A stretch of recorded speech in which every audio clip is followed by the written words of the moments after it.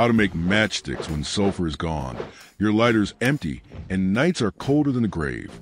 The cities? Ash and silence.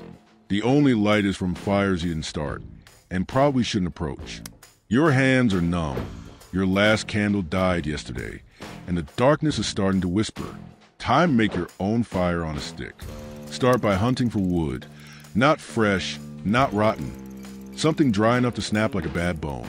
Shave it down to toothpick size with whatever edge you trust not to slip. Then you need heads.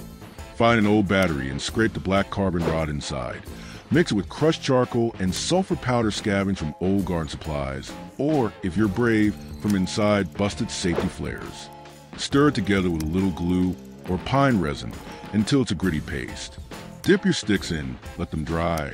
This is chemistry, friction, and oxidizers doing the dance of combustion.